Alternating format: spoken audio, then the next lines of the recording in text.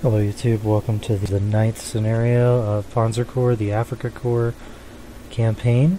And this scenario is, and I apologize if I get this wrong, Alam Halfa. Now of course we are pushing further and further into British and other Commonwealth countries' control. India, Australia, or New Zealand, I'm not sure which. Yeah, I think that's a New Zealand flag there. Anyway, um, it's probably bold. We've got El Alamein here, which is interesting that it's not a key city. And it's heavily, and I do mean heavily, guarded. Um, our key positions here along this road. Basically, what you're going to do is completely bypass El Alamein go around most of the forces this way and basically you would have them encircled between your Italian buddies here and your German main force being over here. So anyway, let's get this started and I'll give you kind of a, a walkthrough. This scenario is kind of interesting. It's a little difficult. I didn't find it overly hard, but there are some points in this level that are a little bit of a pain in the ass, so...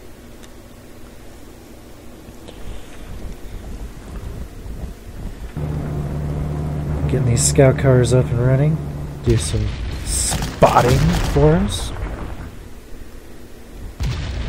There's some initial mines, um, I want to say at the beginning of the game, at the beginning of this scenario, however, it pretty much is only at the beginning from what I've seen. There's really nothing beyond this point. And they're pretty heavily dug in. They've got a lot of stuff here. Lots of infantry, lots of artillery as you can obviously see. And it's kind of a pain in the ass. Even with my tanks, it still gets a little sporty at times, so... Our Stu giving a nice shot to, what is that, a Stuart? Uh, we got defense plus one.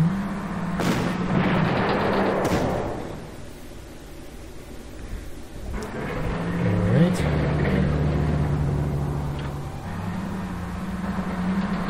Basically, the whole first part of the scenario, and really a large portion of it, is just trying to break through this massive amount of stuff they have built up along this line. And here, let's pause this real quick so you can get a really good idea.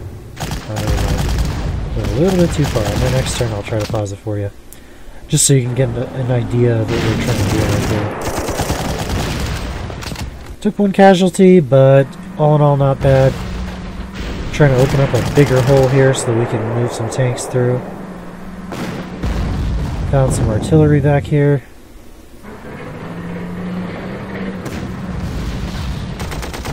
There's a MG group here.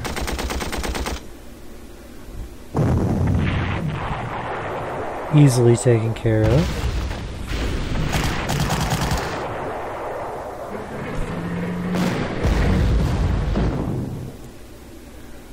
Stugs aren't terribly awesome about attacking artillery units like infantry and the plain tanks are, but they still work.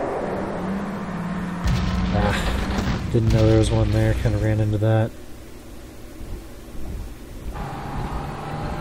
Okay. We're going to try to bypass those last three mines that are there down the bottom. Start working our way at these infantry and artillery units here, although by and large I recommend bypassing them as much as possible. You don't really need to fight them, it's not a necessity, so Got a surprise encounter there, which is really, really good. Pioneers shot back and actually did some pretty decent damage. Spitfire showing our Italians who's better.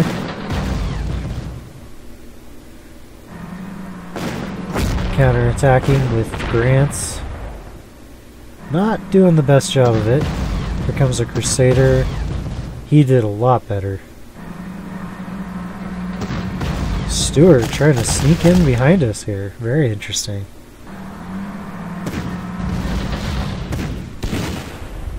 Scout car getting beat on. Looks like he's going to the graveyard. He is indeed. Not such a great thing to have happen, but not the end of the world. Wow, losing two units. That's terrible. So we actually lost one of our three Js that was ours. And that was an SE unit. Luckily, we can get more SE units by simply getting brilliant, or I'm sorry, brilliant, I'm thinking of Ponce decisive victories. So we're not too bad off here. Stuart taking pretty decent damage, over 50% casualties. I tried to sneak around. I forgot. I don't know why I don't remember those damn mines are there, but they are. So I couldn't get behind him, but that's okay. He's pretty well damaged, so it's not likely he'll do much there.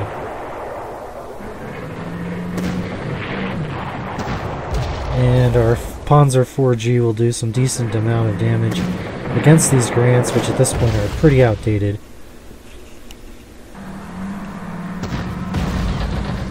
The Crusaders are generally outdated as well, although they're still more formidable. They deal significantly more damage than the Grants do on average.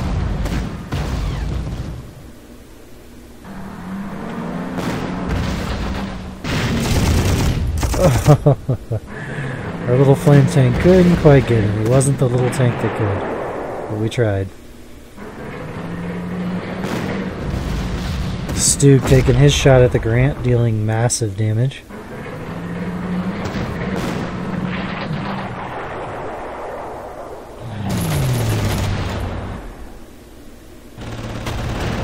Killing off a few enemy aircraft here.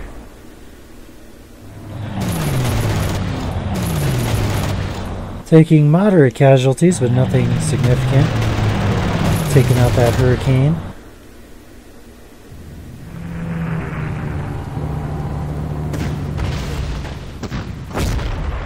Almost got that Crusader dead. Gonna go for the kill here. Couldn't quite get it.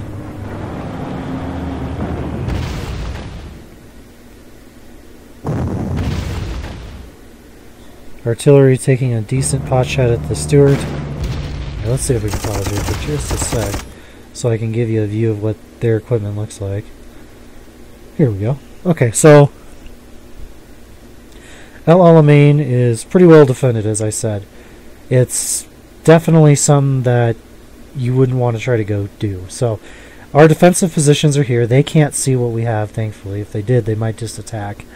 And they've got infantry covered by an artillery piece and an anti aircraft, which is absolutely devastating. Then, on top of that, if you thought, oh, well, I'll just break through here, well, no, you won't. Three anti might as well be anti anti infantry artillery units, an anti aircraft unit, and a really massive overstrength um, anti tank gun. And there's a couple of these in this level, two or three, maybe even four, and 15 strength on really any unit is insane. So when you see one of those, it's kind of disheartening because your units typically except for maybe your fighters or your artillery, or maybe you do yours differently. Maybe you have some of your units on the ground that are overstrengthened. I find that most of the time when I do that, it's not really worth it due to the fact that they just get hurt so quickly anyway that the overstrengthening really doesn't last long enough for me to get enough use out of it. But anyway, um, just those mines that are there. Uh, we're going to bypass all of these probably. And let's get another look over here. So Again, this is real nasty right here. I don't know why this artillery is so far forward, but it is. Um, this will be easy pickings here, and then the infantry units will be a little bit more difficult to, to route. Same situation here. You've got another counterattack literally lying in wait for you. This is the mobile radar in which you'll need to destroy. It is part of the mission. We also have another really nasty overstrengthened anti-tank unit and an anti-aircraft unit guarding these bad boys here. So all in all, uh, it's not too bad, but it can be rather frustrating trying to dig these guys out from their positions. So Anyway, let's uh, let's not waste any more of your time. Let's get going again here. Looks like we may lose that scout car. Interesting.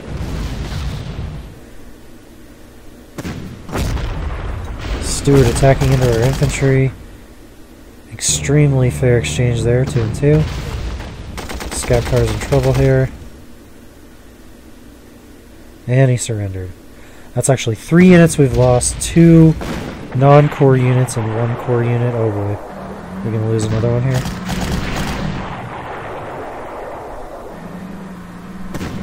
Doesn't look like we will, because it's our turn now, so we actually got saved on that last one. Nice. Taking pretty moderate casualties here. I mean, we're getting the job done, but we're, we're definitely paying for it. Luckily, we do have a pretty fair amount of prestige, so we're not in the hole yet. Absolutely destroying that scout car of theirs in one shot is pretty crazy. Attack plus one for that little Panzer III there, he deserves it. Oh, another absolute destruction of their tank with one shot was a Panzer 4G taking out that Crusader. Mm, that Grant put up a pretty decent fight there. He actually got some damage on us. But he too will fall victim to their attacks eventually. Infantry unit taking massive damage from our Panzer II, our flame tank. Retreating that poor Panzer 4G who got beat up. Finally picking off that infantry unit, thankfully. We will not be able to finish that infantry unit, or that, uh, I'm trying to say that tank unit, that little Grant there. I don't think we'll be able to take him out this turn. Since he doesn't have artillery support, that's why I moved up the way I did. Since he changed it over, I thought it was a good idea. The Grant giving his last hurrah Got in behind the infantry unit, absolutely took out 99% of them. Leaving them with one strength is pretty much a death sentence.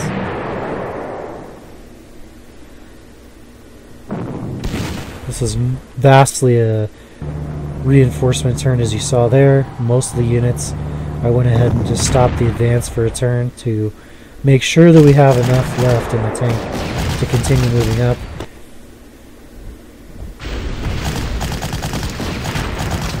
There won't be a surrender here because he has somewhere to go. However, he will be destroyed.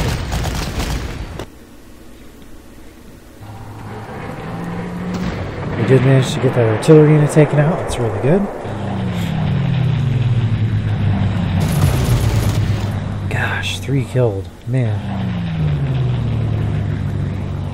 Okay, so the Regia Aeronautica is sending reinforcements again with the pronunciation of some of these words. I apologize. In other words, they're going to give us some fighters or some bombers or something. I think they're fighters. Um, a turn or two from now. Until then, we're pretty much on our own, though. Although, to be honest, we are handling things just fine. That is our Spitfire from Malta. Giving us a little action here.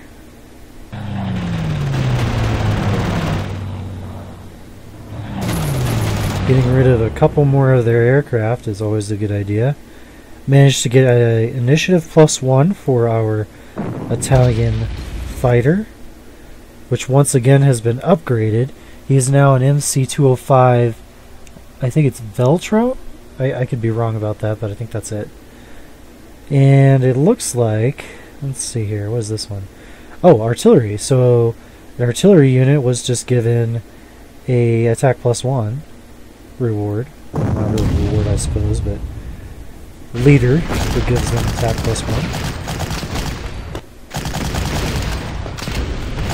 And we're picking on the infantry up here that no longer has any artillery support. They're putting up a decent fight.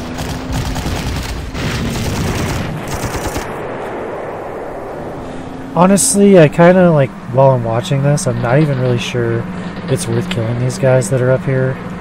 But then I kind of think it is because the, the way that you have to move, you have to move in between these hills and whatnot. So, yeah, I mean, it's definitely questionable. You may do it different than I do, but just thought I'd point that out. Okay. Oh, wow. Almost single-handedly destroyed one of our fighters there.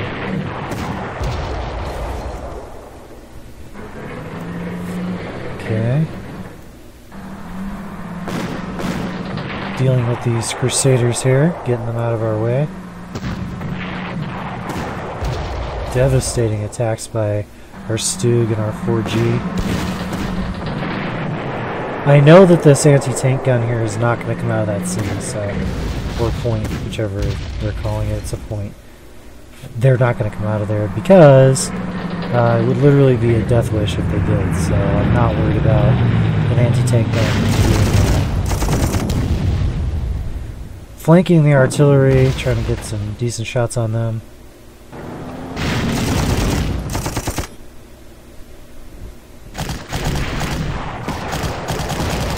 And yet another one bites the dust.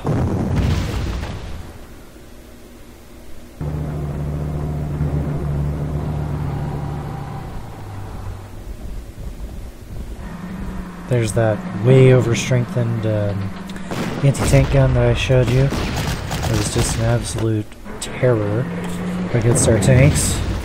Don't even try to use your tanks against that guy, it will not be successful.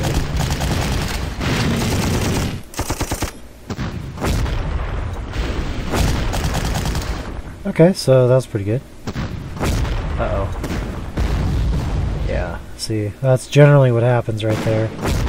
The good news, oh, he actually did come out. Wow. Well, I suppose he's got that infantry in it. No, he didn't move the infantry in either, though. Wow, really interesting.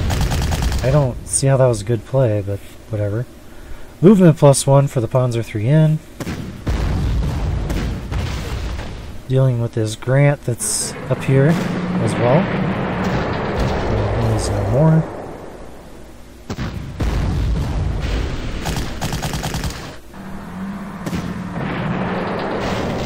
Taking out that Pioneer Infantry unit's a pretty big deal, to be honest. And honestly, at this stage, we're probably going to bypass that anti-tank gun for the most part. Although, you know, I don't remember. I played this scenario twice, and it is possible that I may end up killing it off just because I'm worried about it. We'll see. In one of the playthroughs I did, I bypassed it, and the other one I destroyed it, so we'll have to see what happens here.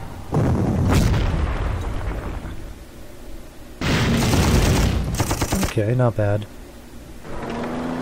He's in anti-tank mode there, so we can kind of use that to our advantage a little bit. Take out some more of these infantry units here. Now, if I'm real smart, yeah, I was going to say if I'm real smart, I'll just leave the rest of these guys because they're vastly out of our way pretty much. No point in killing guys that really aren't going to make any difference in the long run. There was our reinforcements, in case you were wondering. Didn't get to see them very fast because the replays are pretty quick, but you will see them soon. Look like three Italian bomber, or I'm sorry, fighters. Uh, actually, went better than I thought. Wow. Okay. Trying to get rid of this bomber, because they're just really devastating. We were successful with our 109G.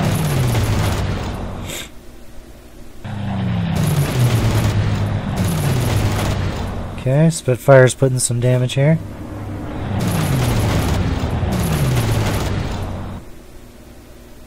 A little extra there. Here's our reinforcements from our Italian friends. Oh no, I take that back. That's actually our Italian bomber. Gosh, I keep saying bomber. Fighter. And he got the gold medal for military valor. That there was one of the uh, non-quoted, a couple of them, three of them actually, so. So most of the time in this level I do have air superiority, most of the time. So we are vastly more in control of the air than we were in the other scenarios. Especially the Gazala line. Absolute nightmare of a level.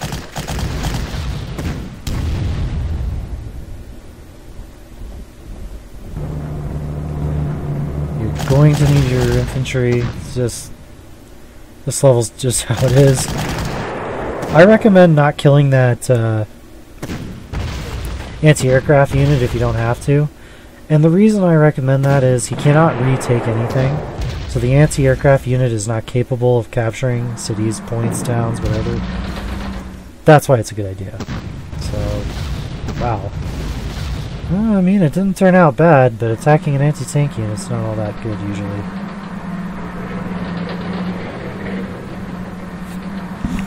So we're basically encircling our enemies at this point. Most of them anyway. Now that our artillery is in place, I think it's pretty much the beginning of the end of this middle uh, section here.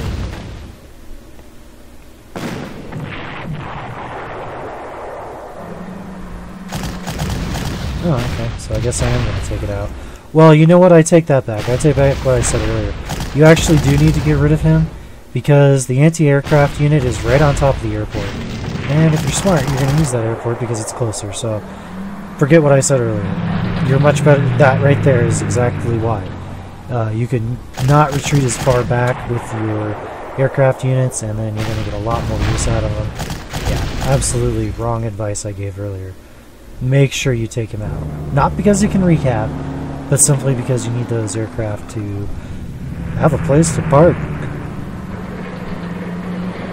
Oh, excuse me.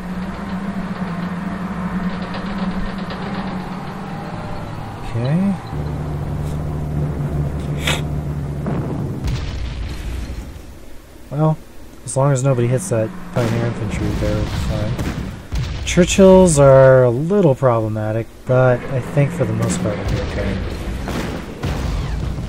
Oh wow. We wrecked that Crusader, so that's good.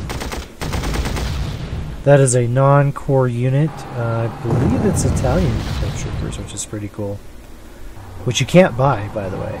So far, I believe this is the only scenario where you even see them. So, defense plus two for our pioneer infantry is always good. I always like getting defense bonuses for infantry. I actually prefer it over attack. And the reason for that is the later the levels you go through, tanks just become increasingly more devastating. And infantry is a lot harder to keep alive, so that is my preference, is defense over attack.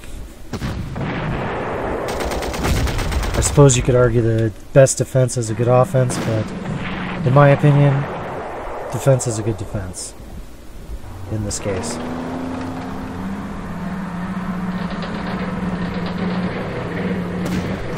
Okay, so got us a little Grant tank here that we're going to attack with our stew. We have to do a little retreating here, looks like.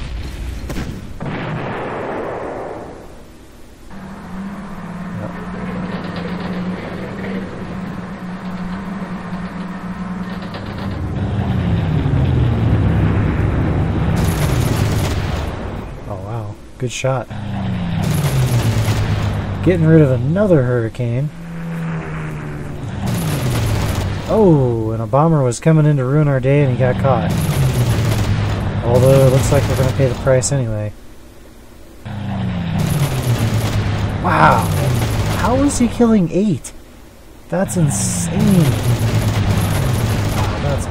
Bullshit. Uh, those were non-core units, of course. But still, I don't understand how he kills eight with his 11. That's crazy. Are they that much better? I guess they have to be.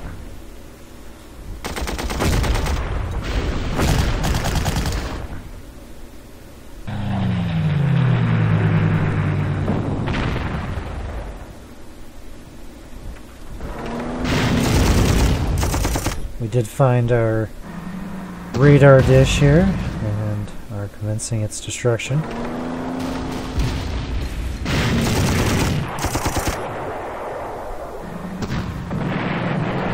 pesky anti-aircraft.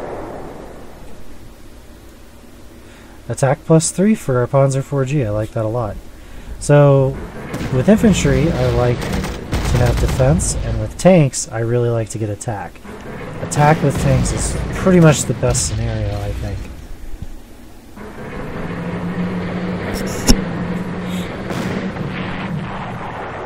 Destroying that mobile radar dish. And I'm guessing in the process really limiting their vision from what it looks like. Which is pretty big. If they can't see us, they can't really do much to us, so there you go.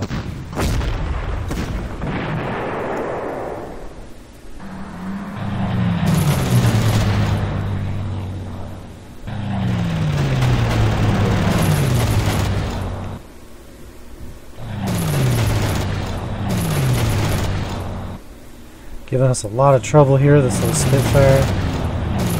At this stage, the Spitfires are just absolutely devastating.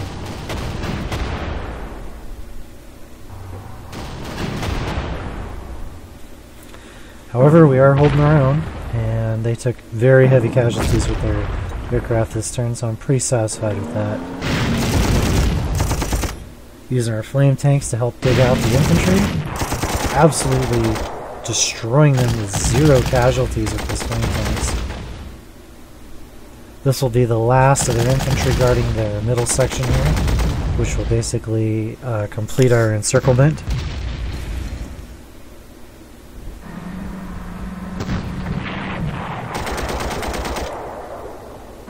Encirclement complete. Now all we have to do is what we're doing here, which is coming in behind the units that you see. The Grant is unfortunately going to be destroyed here for him. Oh no, he actually lived. No, no,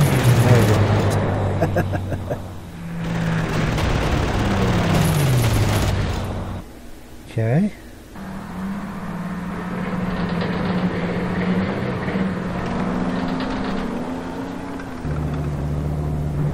Of course, the faster we get our infantry to the highest point in the map, the better, because that will be units that will be the most effective at destroying other infantry units that are, well, guarding the last parts of our objective. So. Looks like he's got three more aircraft and, and po ooh, almost killed him. And possibly more, um, I believe, show up in the ocean. So we do still have to deal with a few more. Just expect in every scenario you play in the Afrika Corps campaign to be outnumbered. Okay, that's kind of crappy. So the anti-aircraft division here, they got a defense plus 3. I would have rather had an attack plus 3, simply for the reason that it would have been more effective. So, But we'll take what we can get and give nothing back. So losing a couple more units this turn with the aircraft. Spitfire coming in and just messing that guy up. Trying to get these uh, anti-tank guys out of this little airfield here. It's actually an English unit holding this uh, particular airfield. It's a six pounder. And they were completely decimated. Finally, we can start our attack on this Churchill. Already dealing a decisive blow, knocking him down to 30% health. And taking him out completely. So it's pretty much over already. Once you get to this stage, the only real thing that can bite you in the ass is if they try to back cap and you're not ready for it. Also, you want to make sure that you don't leave anything too important in your rear, such as artillery or weak infantry. There's a couple more. That's what I thought. Actually, looks like you may have, what, three more um, aerial units, so... Don't know where they came from. I'm guessing it's just reinforcements that they get through the game, which is just nuts, because they've already had a ton.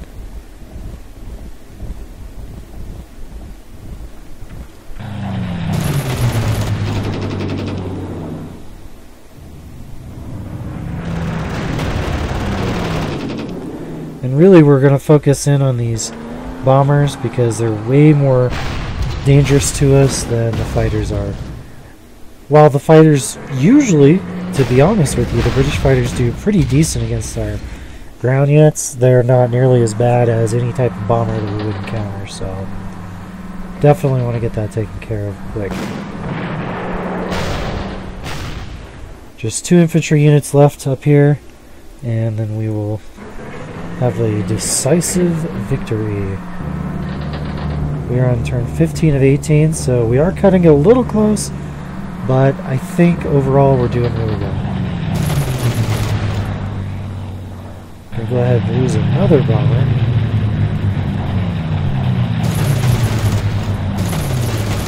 Ugh. That was another non-core unit, but we did lose him. As you can see, the casualties just really mount up depending on what you do. Here you go. So they're starting to move around, and this is when you got to be careful. So as you can tell, we're coming to try to aid these guys slowly but surely. They don't have any vehicles, so they can't move too quickly, but that doesn't matter. You know, they, if, if they manage to get up here, they will be a problem very quick. So flame tank dealing about 50% damage, and the next one completely destroying them was actually really only 50%. And there you go, guys. That right there is a decisive victory on turn 16 of 18. So we actually had a two-turn surplus, and this level, in my opinion, is not all that difficult. If you kind of take advantage of them being out of place and their units protecting a town or a city that's really uh, it's not even a core town or city, El Alamein. You literally just bypass it and encircle them, and they automatically lose anyway, so you don't even care. Anyway, guys, as usual, like, subscribe, share with your friends, all that good stuff. And please watch the rest of this series if you like this video and some of my other videos. And as always, have a good one. See you in the next one.